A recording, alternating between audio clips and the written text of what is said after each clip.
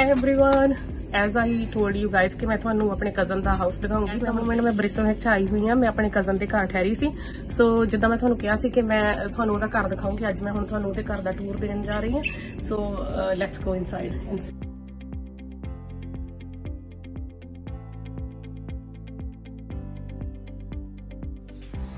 Okay, here we go. Uh, ਮੇਰੇ cousin ਦਾ ਨਾਮ ਹੈ ਰਾਜ Hello. Hello. Hello. So he just bought a house in Brisbane. So and this is his dog Milo. Milo, say hello. Hello. anyway, he will tell you everything. This is- Hi dosto, this is the entry point of it. This is a study room. We need to furnish it.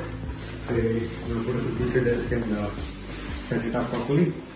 So uh, we we just came here a couple of weeks ago. Yeah, First they're time just that they are moving. time that just Ah. moving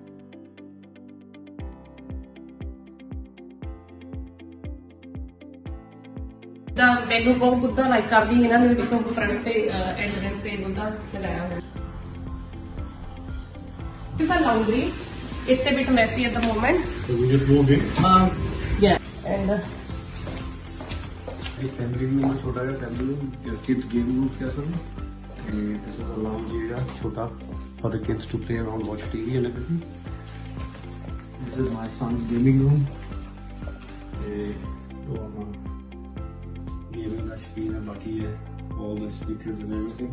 Yeah. His son uh, is Kabir and this is his room and ਉਹਨੂੰ ਇਦਾਂ ਦੇ setup ਕਰਨ ਦਾ ਬਹੁਤ ਸ਼ੌਂਕ ਹੈ। ਇਦਾਂ ਦਾ ਕਰਨ ਨੇ ਵੀ ਕੀਤਾ ਹੋਇਆ। So this is his room and ਆਹ ਦੇਖੋ ਨੇ ਕਿੰਨੇ ਪੋਸਟਰ ਲਗਾਏ ਹੋਏ ਆ। And look at his shoes ਉਹਨੂੰ ਸ਼ੂਜ਼ ਦਾ ਬਹੁਤ ਸ਼ੌਂਕ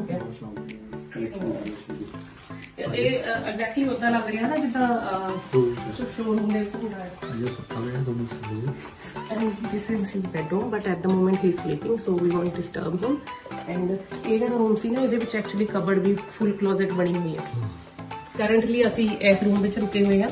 ਇੱਥੇ ਵੀ ਕਲੋਜ਼ਟ ਹੈ it's a nice imposing room two rooms ਹੋ ਗਏ bedrooms so one he is sleeping and the second one is this ਉਹ ਵੀ ਇੱਕ ਬੈਡਰੂਮ ਹੀ ਆ ਐਕਚੁਅਲੀ ਜਿੱਥੇ ਉਹਨੇ ਸਟੱਡੀ ਟੇਬਲ ਆਪਣਾ ਰੱਖਿਆ ਹੋਇਆ ਹੈ ਐਂਡ ਇਹ ਛੋਟਾ ਜਿਹਾ ਲਿਵਿੰਗ ਏਰੀਆ ਹੋ ਗਿਆ this is my favorite ਬੜਾ ਪਿਆਰਾ ਹੈ ਦੇਖੋ ਇਹਨਾਂ ਨੇ ਕਿੰਨਾ ਸੋਹਣਾ ਡੈਕੋਰੇਟ ਕੀਤਾ ਹੋਇਆ ਹੈ ਕੈਂਡਲ ਹੋਲਡਰਸ ਲਗਾਏ ਹੋਏ ਆ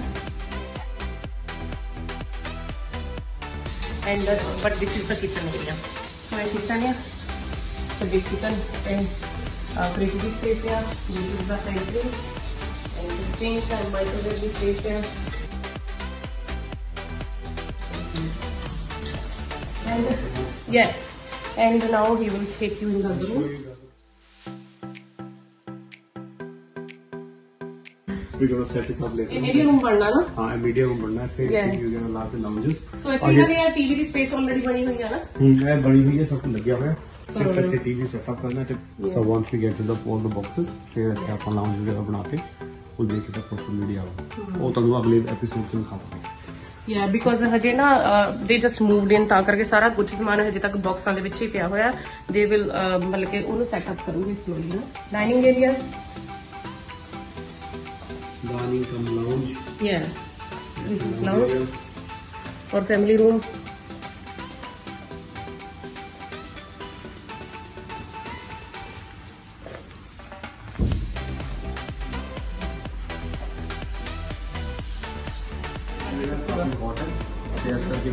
सीलिंग फ़ैन लगे होंगे तो लोग जगह ब्लॉक कर ढूंढनी ceiling fan is all helps you out clear from इधर टॉयलेट है?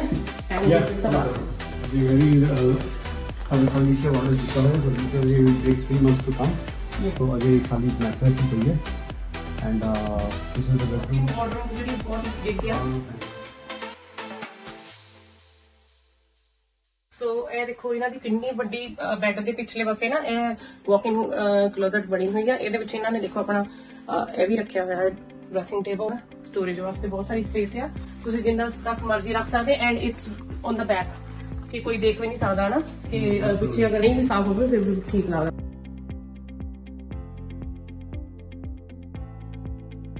Another thing, good thing about this house is these sliding doors ਇੱਥੇ ਨਾ ਬਿਗ ਸਲਾਈਡਿੰਗ ਡੋਰ ਲੱਗੇ ਹੋਏ ਦੇਖੋ ਬੈਡਰੂਮ ਦੇ ਵਿੱਚ ਕਿੰਨੀ ਲਾਈਟ ਆ ਰਹੀ ਹੈ ਨਾ। ਤੇ ਜਿੰਨੀ ਸਰਕੂਲੇਸ਼ਨ ਜਿੰਨੀ ਉਹਨਾਂ ਬੈਟਰ ਲਾਈਟ ਵੀ ਵਧੀਆ ਹੈ ਐਂਡ 에ਅਰ ਲਈ ਵੀ ਵਧੀਆ ਹੈ ਫਰੈਸ਼ 에ਅਰ ਆਉਂਦੀ ਹੈ ਨਾ। ਜੇ ਤੁਸੀਂ ਸਲਾਈਡਿੰਗ ਡੋਰ ਹੈ ਜਿਹੜੀ ਸਲਾਈਡਿੰਗ ਹੈ ਤੁਸੀਂ ਚਾਰ ਤੱਕ ਪਹੁੰਚ ਜਾਓ ਤੁਸੀਂ ਵੀ ਜਾ ਸਕਦੇ ਹੋ। ਪਰ ਗੋਲਾ ਬਿਗ ਪਰ ਬੋਲਣਾ ਨਾ ਪਰ ਗੋਲਾ ਇਟਸ ਦ ਬੈਸਟ ਪਲੇਸ ਦੇ ਸੈਟਅਪ ਹੀਅਰ ਇੱਥੇ ਅਸੀਂ ਹੁਣ ਨਾ ਰੋਜ਼ ਜਿਸ ਜਿਸ ਦਿਨ ਦੇ ਆਏ ਹੋਏ ਹਾਂ ਅਸੀਂ ਸਵੇਰੇ ਉੱਠ ਕੇ ਇੱਥੇ ਬੈਠ ਜਾਂਦੇ ਆ।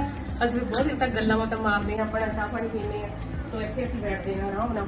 ਬਹੁਤ ਵਧੀਆ ਲੱਗਦਾ ਇੱਥੋਂ ਨਾ ਕਿਉਂਕਿ ਇੱਥੇ ਪੂਲ ਵੀ ਹੈਗਾ ਐਂਡ ਪਲੱਸ ਬਾਹਰ ਇਹ ਬੈਸਟ ਮੈਨੂੰ ਇਹ ਘਰ ਦਾ ਸਭ ਤੋਂ ਜ਼ਿਆਦਾ ਬੈਸਟ ਇਹ. ਲੱਗਿਆ। ਜਦ ਦੇ ਇੱਥੇ ਆਏ ਹਾਂ ਸਭ ਤੋਂ ਜ਼ਿਆਦਾ ਬੈਸਟ ਸਪੌਟ ਇਹੀ ਹੈ. ਇੱਥੇ ਆਪਣਾ ਆਰਾਮ ਨਾਲ ਬਹਿ ਜਾਓ ਤੇ ਇੰਜੋਏ ਦ ਨੇਚਰ ਤੇ ਜਦ ਜਾਣਾ ਤਾਂ ਪੂਲ ਜਾ ਕੇ ਜ਼ਿਆਦਾ ਥੱਕ ਗਏ ਹੋ ਤਾਂ ਕਿ ਪੂਲ ਚ ਛਾਲ ਮਾਰੋ ਛਾਲ ਮਾਰੋ। ਤੇ ਆਪਣਾ ਪੂਲ ਹੋ ਜਾਓ। ਹਾਂ।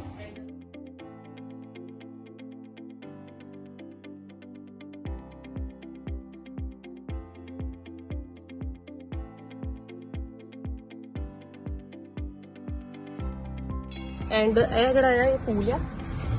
ਅਸੀਂ ਕੱਲ ਇੱਥੇ ਪੂਲ ਦੇ ਵਿੱਚ ਵੜੇ ਵੀ ਸੀ। ਮੈਂ ਤੁਹਾਨੂੰ ਥੋੜਾ ਜਿਹਾ ਉਹਦਾ ਕਲਿੱਪ ਵਿੱਚ ਐਡ ਕਰ ਦੂੰਗੀ ਰਾਤੀ ਅਸੀਂ ਥੋੜਾ ਜਿਹਾ ਪੂਲ ਦੇ ਵਿੱਚ ਆਏ ਸੀ। ਡਿਊਰਿੰਗ ਦਾ ਡੇ ਬਹੁਤ ਜ਼ਿਆਦਾ ਗਰਮੀ ਹੁੰਦੀ ਹੈ ਰਾਤ ਸ਼ਾਮੀ ਥੋੜਾ ਕੋਲਡ ਹੋ ਜਾਂਦਾ। ਐਵਰੀ ਡੇ ਹੁੰਦਾ ਇਦਾਂ। ਹਾਂ ਇਦਾਂ। ਮੋਸਟਲੀ ਡੇ ਟਾਈਮ ਕਾਫੀ ਗਰਮੀ ਹੁੰਦੀ ਹੈ।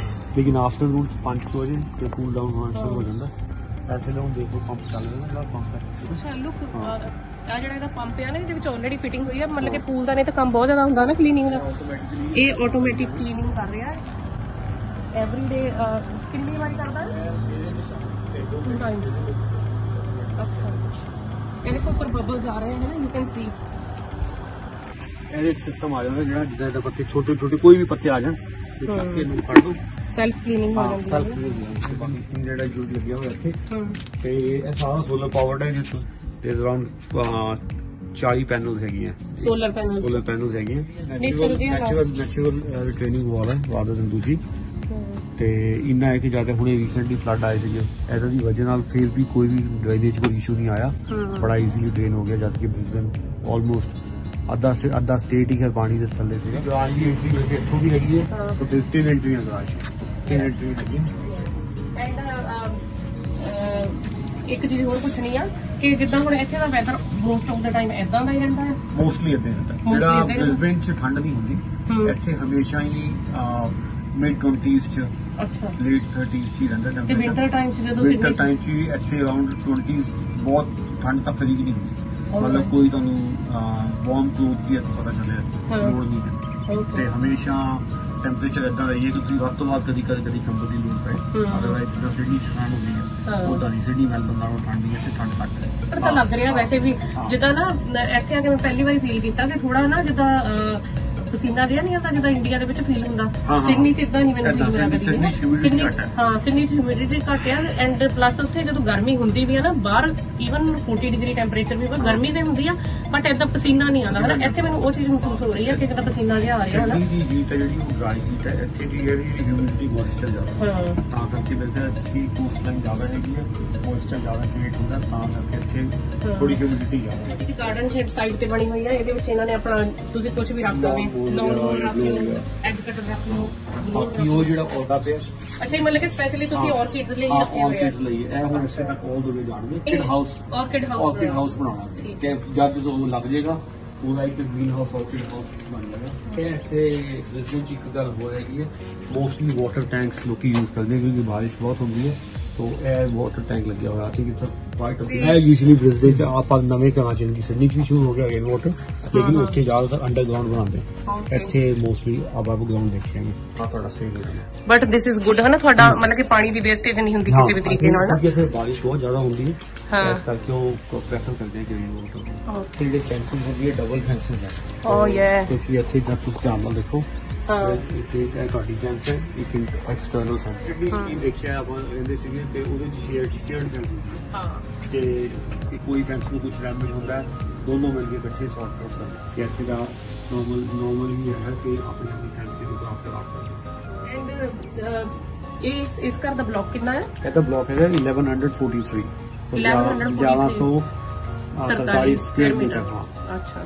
ਤੇ ਐਵਰੇਜ ਸਾਈਜ਼ ਅਰਾਊਂਡ ਜਿੱਦਾਂ 6-700 ਹੁੰਦਾ। ਤੇ ਇਹ ਉਹ 700 ਥੋੜਾ ਥੋੜਾ ਵੱਡਾ ਬਲਾਕ ਹੈ। ਮੈਨੂੰ ਜੀ ਮੈਨੂੰ ਹੋਰ ਦੱਸੋ ਕਿ ਐਜ਼ ਕੰਪੇਅਰ ਟੂ ਸਿਡਨੀ ਇੱਥੇ ਦੇ ਐਕਸਪੈਂਸਸ ਜ਼ਿਆਦਾ ਆ ਕਿ ਘੱਟ ਆ ਕਿ ਸਿਮਿਲਰ ਹੀ ਆ? ਜਿੱਦਾਂ ਗਰੋਸਰੀ ਵਾਈਜ਼ ਹੋ ਗਿਆ ਜਾਂ ਕੁਝ ਵੀ ਬਾਈ ਕਰਨਾ ਕੁਝ ਮੈਨੂੰ ਤਾਂ ਥੋੜੇ ਜ਼ਿਆਦਾ ਇੱਥੇ ਐਕਸਪੈਂਸਿਵ ਲੱਗੇ ਕਈ ਚੀਜ਼ਾਂ। ਅੱਛਾ। ਕਿਉਂਕਿ ਅਵੇਲੇਬਿਲਿਟੀ ਜਿਹਦਾ ਫਰੂਟ ਐਂਡ ਵੈਜ ਦੀ ਅਵੇਲੇਬਿਲਿਟੀ ਜ਼ਿਆਦਾ ਉਹ ਘੱਟ ਹੈ। ਉਹ ਮਤਲਬ ਕਿ ਸਸਤੇ ਆ ਉਹ। ਥੋੜੇ ਸਸਤੇ ਆ। ਬਾਕੀ ਚੀਜ਼ਾਂ ਥੋੜੀਆਂ ਆਬਵੀਅਸਲੀ ਬਿਕੋਜ਼ ਜਿੱਦਾਂ ਪ੍ਰੋਡਕਸ਼ਨ ਮੇਨ ਜ਼ਿਆਦਾ ਸਪਲਾਈ ਸਿਡਨੀ ਤੋਂ ਹੁੰਦੀ ਹੂੰ। ਹੈ ਇਹ ਥੋੜਾ ਥਰਡ ਸਿਟੀ ਮੰਨਦੇ ਆ ਸਿਡਨੀ ਮੈਲਬਨ ਤੋਂ ਬਾਅਦ ਥਰਡ ਮੰਨਦੇ ਆ Okay. ਤਾਂ ਆਬਵੀਅਸਲੀ ਚੇਨ ਸਪਲਾਈ ਇੱਥੇ ਘੱਟ ਹੈ ਪੋਪੂਲੇਸ਼ਨ ਦੇ ਹਿਸਾਬ ਨਾਲ ਜਿੱਦਾਂ ਇੰਡੀਅਨ ਗਰੋਸਰੀਜ਼ ਪਹਿਲੇ ਇੱਥੇ ਥੋੜੀ ਇੰਡੀਅਨ ਗਰੋਸਰੀ ਨਹੀਂ ਹੈ ਅੱਛਾ ਜੇ ਅੱਛਾ ਇੰਡੀਅਨ ਗਰੋਸਰੀ ਕੰਪੇਅਰ ਕੀਤੇ ਸਿਡਨੀ ਉੱਥੇ ਸਪਲਾਈ ਜ਼ਿਆਦਾ।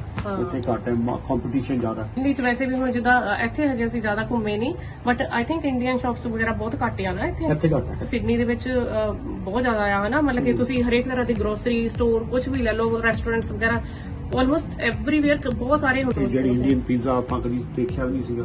ਹੁਣ ਇੰਡੀਅਨ ਪੀਜ਼ਾ। ਸ਼ਾਪ ਕਾਮਨ ਹੋ ਗਿਆ ਲੋਕੀ ਲਾਈਕ ਕਰਦੇ ਆ ਇੰਜੋਏ ਕਰਦੇ ਆ। ਆਬਵੀਅਸਲੀ ਆਈ ਥਿੰਕ ਇੱਥੇ ਵੀ ਇਦਾਂ ਸਿਚੁਏਸ਼ਨ ਆਏਗੀ।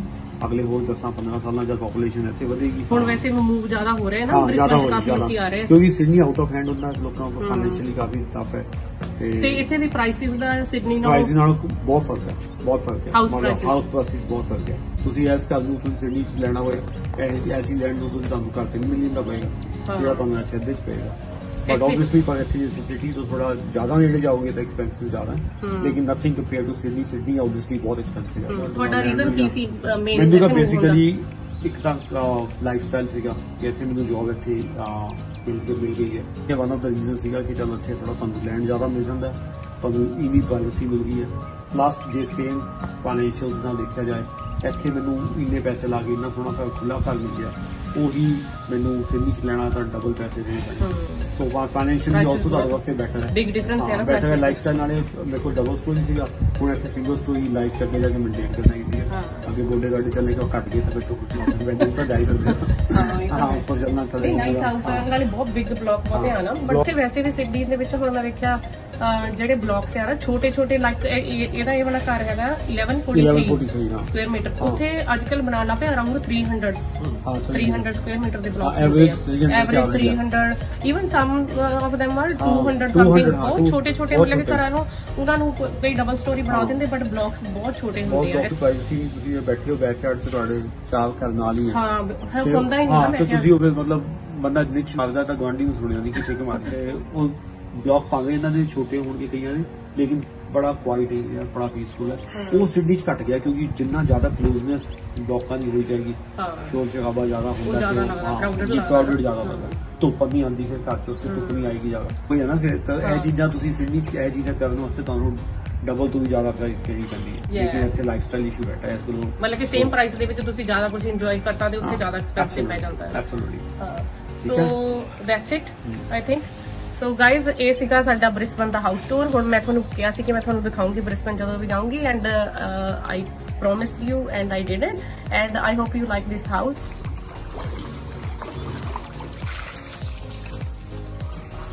Milo. Hello. Hello. Hello.